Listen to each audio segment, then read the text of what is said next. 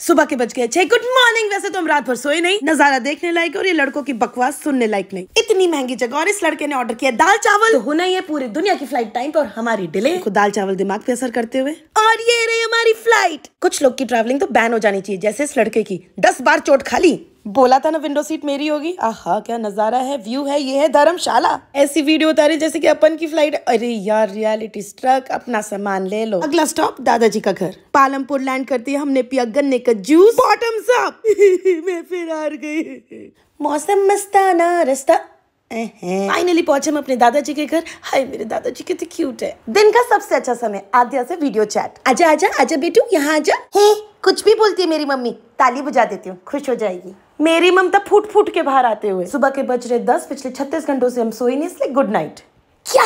आठ बज गए। बचे हुए दिन में हमने ठूसा दादाजी से बहुत सारी बातें की। आज का दिन यही समाप्त करते गुड नाइट